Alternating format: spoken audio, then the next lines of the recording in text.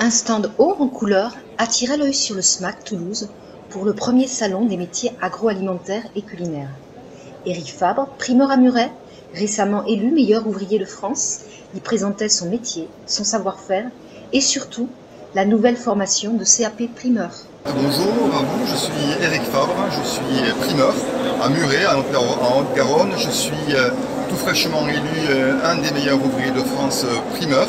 Nous sommes 14 collègues en France primeur, donc meilleur ouvrier de France, un petit peu rétabli sur toute l'Hexagone. Et voilà, nous voilà ici au grand marché, donc pour une première, donc pour le SMAC, donc pour valoriser aussi le SAV primeur. Le SAV primeur qui est un CAP qui est tout fraîchement sorti de ses cartons pour euh, ben, professionnaliser notre beau métier de primeur. Euh, euh, on est en charge aussi de, donner un petit peu l'envie à, ces jeunes ou à des gens qui sont en, conversion professionnelle de, venir sur notre métier. C'est un vrai métier, c'est un métier où on est indépendant, on peut gagner facilement de l'argent. on est en contact avec la nature, on est en contact avec, avec les saisons. L'avenir appartient à celui qui se lève tôt.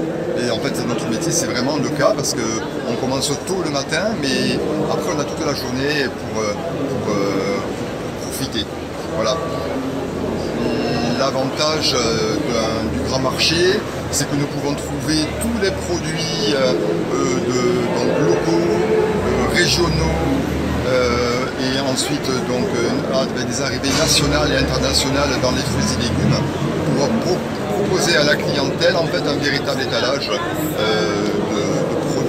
fruits et légumes du moment, de saison.